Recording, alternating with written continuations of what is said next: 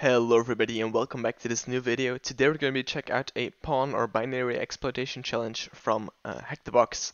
This is a very easy challenge. It's a Jeeves. It's kind of an introduction to binary exploitation. So that's why I'm going to go uh, quite in depth here. I'm going to try to explain everything uh, in a way that's easy to understand for beginners. Um, so let's jump into this. So first of all, the challenge gives us obviously a file, a binary file here. It's 64-bit uh, and uh, it's not stripped, which means that uh, all the names, the original names, are still in there, uh, the function names and stuff like that. Um, so right, from that, the first thing I always do is I go into Ghidra, and Ghidra is a very nice tool that's going to allow us to generate some pseudo C code here um, from the assembly code, because assembly is very hard to read, and, and this really helps. And from opening this file, uh, this binary into Ghidra, we can see that there's only really a main function here from the symbol tree. Uh, and this main function, what is it going to do? Well, it's going to ask us, hello sir, how are you? May I have your name? We're going to enter a name. It's going to say our name, and then have a good day. Then if this certain val uh, variable is equal to this value here, it's going to open flag.txt and print it out to us. Okay, so let's see if that is also what occurs. So let's do run Jeeves here and we see, okay, it says, hey, uh, Bing Draconian, have a good day. So that's what we expected, right? Now let's go a little bit more in depth in this program here. So the first things we notice here is this variable we want that we want to be equal to lead babe is set in the beginning here and it's set to dead code. Um, and it's not and we cannot change it up here. So so we want to change this though. Um, second thing we notice is uh, something you always have to look for is where does my input go? Uh, what's the size of the buffer that my input is going to go to? And we see that it uses gets here, which is not limited limited to how many characters we can use. So we can use any amount of characters, and it's loading that input into this local 48 uh, variable here, which is a, an array of uh, 44 elements. So we're loading uh, 44 characters into this array, but what happens if we enter 48 characters? Uh, or, or any, any, number higher than 44. So let's see what happens then. Uh, so we're gonna quickly get some characters here. So let's do let's do 50 and see what happens. So if we run Jeeves again and enter that, we see nothing happens. Uh, what if we enter 100? Maybe we get in an overflow then. And yes, we get a segmentation fault. So we over we have overflown this binary, and we got a segmentation fault. Now up here we also uh, overflowed the um, the buffer. However, we didn't get a segmentation fault. Well, what does this segmentation fault mean? This segmentation fault means that you have overwritten the return address on the stack. Now, how does a stack work? So a stack is, and I'm going to get a picture here. So a stack is something that grows downwards. And every function is pretty much going to use it. So when a function starts, it's going to put their local variables on the stack. It's going to put all their arguments on the stack. And it's going to put the return address also on the stack. Now what happened here? So let's say our variable here, our buffer is local variable 1. So what we did is we overrode variable 1 we overwrote variable 2, all of these arguments, and we overwrote the return address. So when it wanted to move on, so uh, when it got to the return here at the bottom, it tried to jump to something that isn't really a that isn't a assembly. It's it's not something you can run, and that's why we get this uh, segmentation fault here. However, we do not want to overwrite that because we want uh, to read the flag, and the flag is, is before the return, we want to make sure that this local C variable here is gets set to that. Now, okay, I showed you the stack here earlier, and, and it's and all the variables are on it on here. Um, so local variable one, local variable two, and so on. The variables in our case are our buffer, this integer here, this pointer, and then that thing that we want to override. And notice how our buffer is above this thing that we want to overwrite. Um, so what th that means that our buffer is going to be above on the stack, above this thing. The stack overflows downwards, so we have the possibility of overflowing local C here.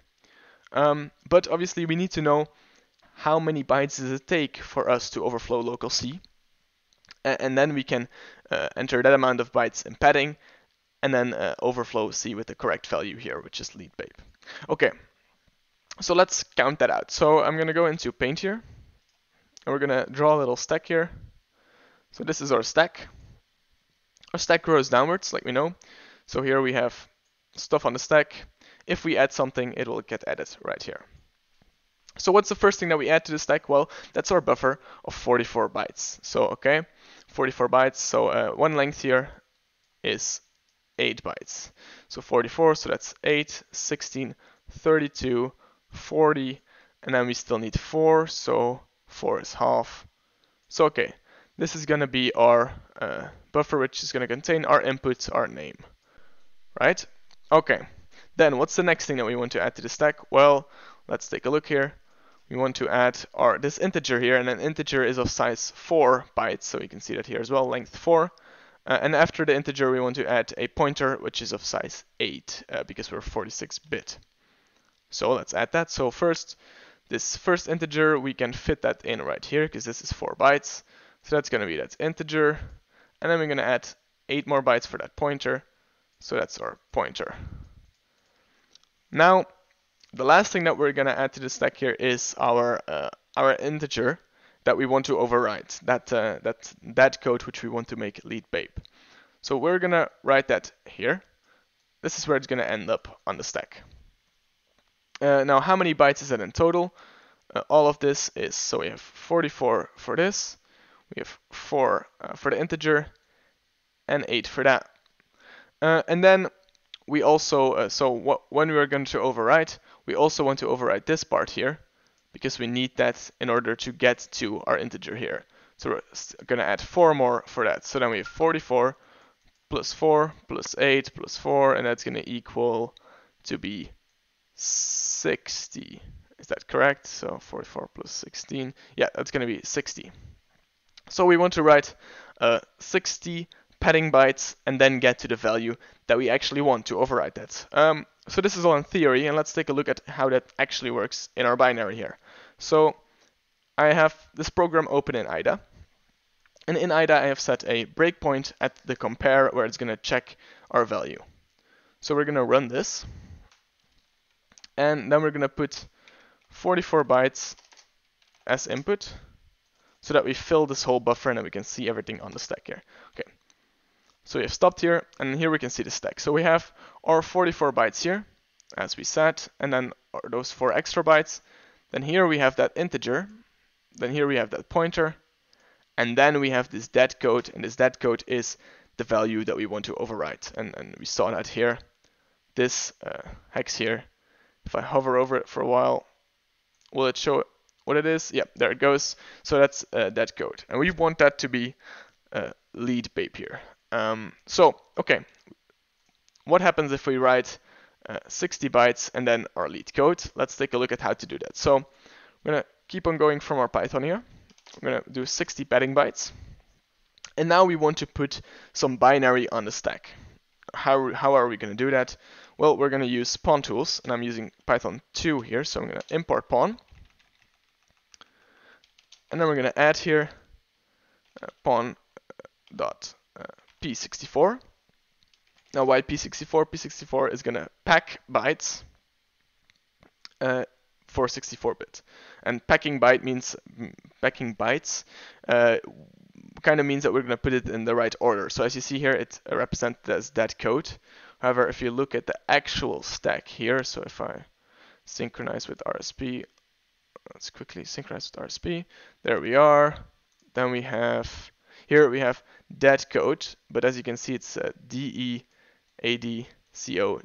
So it's, it's not like the actual string, uh, because it's in a string, it's bytes. Uh, so this P64 function is going to make sure that it's uh, correct on the stack. So okay, let's do that. Uh, so what do we want to put here? Well, we want to put these bytes here that we that are the variable that we're going to overwrite has to be equal to. So okay, we're going to copy this go back into here, uh, paste them down, and then when we run this, you'll see, okay, we have our uh, bytes here, and we're gonna put that into a file. So let's call that input.txt. And now we've put that into the file. So now we're gonna, we're gonna use this as input for our program. Okay, so what are we going to do? Let's stop running this. We're going to go into the debugger here, process options, and we're going to say, okay, take input from the file input.txt. These parameters are just uh, command line uh, input parameters, so uh, that, that would be the same as, as uh, using just this in the command line. So Jeeves and then uh, with our input. So, but that's for IDA. Okay. So we've done just that and we have run the thing, uh, the binary, and we are currently at our compare instruction where we set the breakpoint.